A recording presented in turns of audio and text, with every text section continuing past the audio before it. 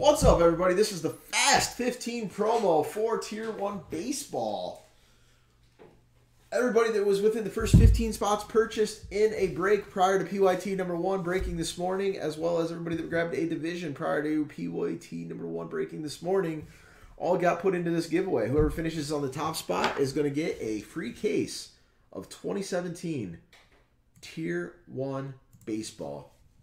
Good luck, guys. Three times short and the sweet sauce. What's up, Zez Bleach? Here we go, guys. One. Two. Third and final time. Good luck. And three. Nasty Doug Frinquelli. Three times.